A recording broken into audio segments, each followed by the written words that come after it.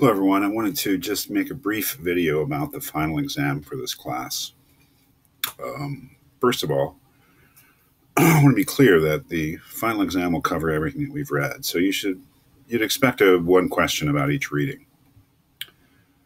Uh, you'll have uh, three hours to finish the exam. The way that I've set it up is that once you click on here, final exam,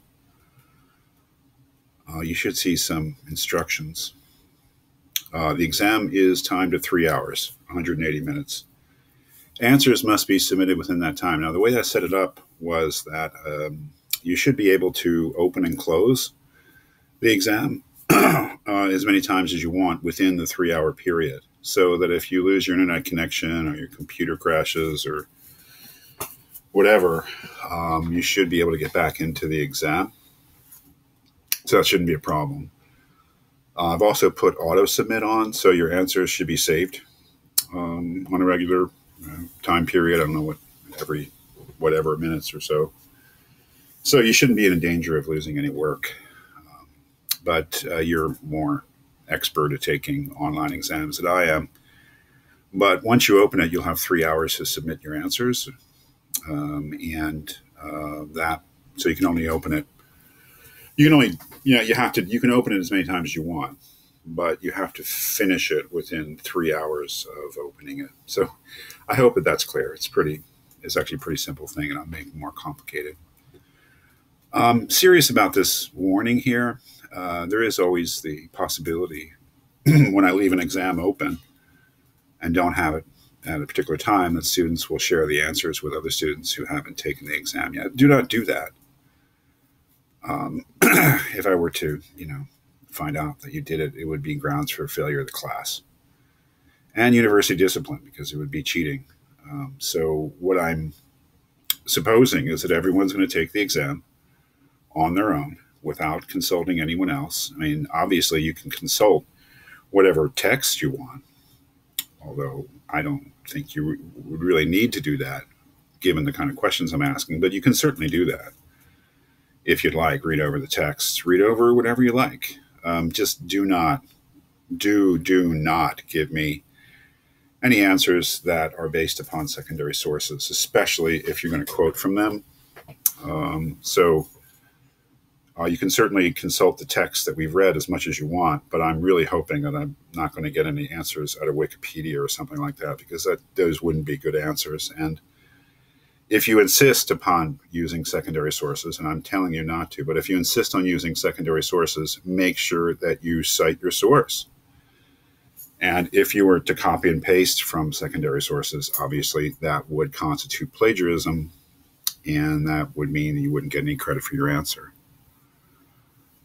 So, um, what sort of questions should you expect? Well, I've written what I consider to be straightforward questions that require straightforward answers. Uh, the, the, questions, all of which, all, all, of the questions in my mind, uh, zero in on a central point in the argument of the text. They ask questions that um, I think anybody who was familiar with the text would be prepared to answer uh, immediately because they don't ask, I, I, don't think about things that are obscure or um, things that are that, are uh, secondary in the text. Uh, all of the questions zero in on what, in my judgment, are the central um, aspects of the text, of the argument of the text. Let's take a really simple example here. Uh, uh, Anselm's uh, argument, the proslogion for the existence of God. Um, get into the argument here. This argument is um, you know, not about, oh Lord, do you give understanding to faith? That's the preamble. The argument itself uh, starts with this notion of a being than which none greater can be conceived. And then, you know, this part right here. And then what he thinks logically follows from us conceiving of, of such a being, a being than which no, nothing greater can be conceived. That is, these are the things that I zeroed in on, that I concentrated on in my uh, videos, especially the second look videos. Um, are simpler example, because it's a short argument, is uh, Epicurus's letter to Menoeceus. Uh, this is, you know, this is about death, right?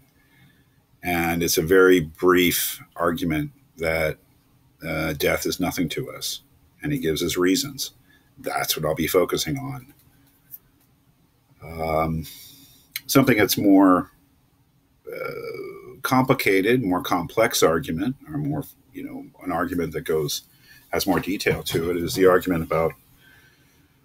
Um, the argument, uh, first of all, I can tell you, I will not be focusing on the kind of this this introductory part, which is basically his, you know, a, a summary, a very brief summary of of his reasons for thinking that human beings evolved. No, I will be focusing on the latter part, you know, of the uh, text, and I'll even tell you I won't be focusing on the intellectual powers. I will be focusing on his arguments for our moral disposition, which is basically his argument in evolutionary terms about how it could be possible that human beings could have evolved, that morality could have evolved naturally uh, in the human species. That is what. So, you should be concentrating on, um, you know, the, the, part that begins here, the development of the moral qualities. Um, you know, something uh, something simple like the prince. Right? I mean, it should be completely, completely obvious what the argument here is in the prince the argument is about love and fear. And yes, sure, he says, if you're a prince, you would like to have both, but the whole thing, I mean, that's not the conclusion of it, right? The, the whole thing is not going towards, well, you should have both. No, the whole thing is going towards, if you can't have both, you should choose fear over love. And, and his reasons for for that. I mean, I'll be sticking to these things, which I, I think are you know pretty obvious. Um, you know, this one here uh, a little more difficult, I'd say, from Locke, uh, zeroing in on it as political philosophy, and keeping in mind that maybe the most striking thing that he says here is this excerpt here: "The great and chief end, therefore, of men's uniting into commonwealths." and putting themselves under government is the preservation of their property. I mean, if we translate that into more straightforward, modern, contemporary language, he's basically saying that the the main function of government and the reason for its existence is the preservation of property. And you know, keep in mind what he means by property, right? So I'm looking for careful readings of the text and an understanding of the basic argument. Let's see, um, a tough one Wittgenstein's lecture on ethics. Wow. I just finished my second look video. I'd been putting that off because it's very challenging. But keep in mind, you know, watch the video. You'll, you'll get a, a definite sense of what I think the argument is and what I think is important. So um, I said in that video that it's clear that we could take the overall conclusion of this lecture to be that ethics is nonsense.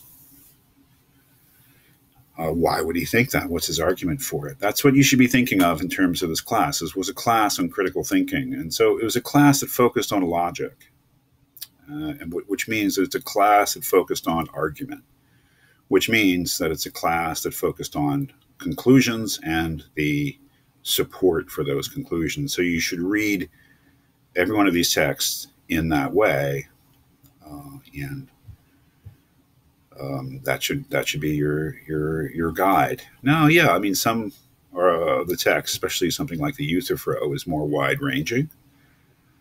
Uh, but the question I asked about it, I think, is a very central question uh, about the Euthyphro. Maybe the most striking thing that Socrates says in the Euthyphro, so it, it shouldn't come as any surprise. So, um, if you, I've ranged over almost all the text here to give you a sense of uh, you know what I'm what I'm thinking in terms of them.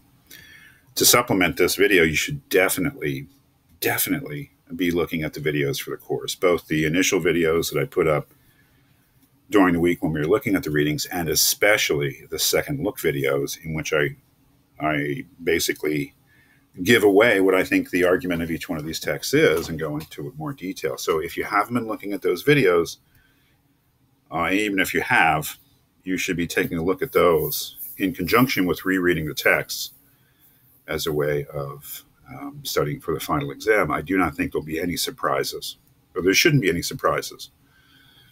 If you've read these texts, written about them, watched the videos, uh, if you go back to these texts with all that in mind, all that experience, and reread them, you shouldn't have any surprises when it comes to the kind of questions that will be on the final exam. Uh, the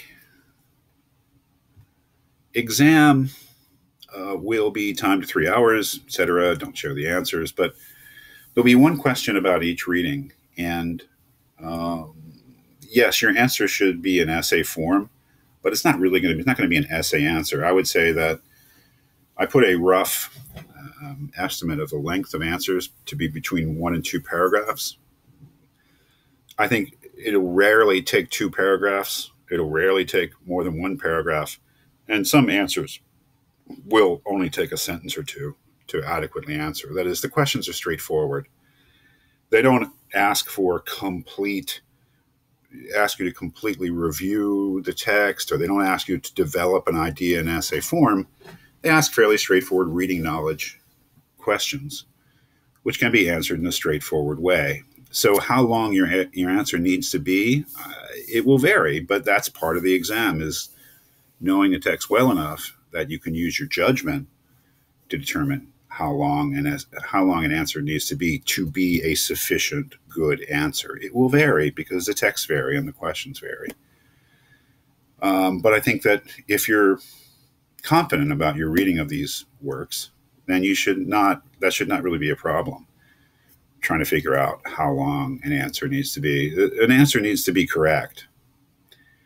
And, um, you know, there are short answers which are correct. There are long answers which are incorrect. So just because an answer is long doesn't mean that it's a good answer. And just because an answer is short doesn't mean it's a bad answer. It really depends on what you say. So I would say that the length of answers is really not important. What's important is that you get what I'm asking in the question, that you're familiar enough with the text that you can sort of identifying the t- what in the text is is crucial, and that you can put things in your own words.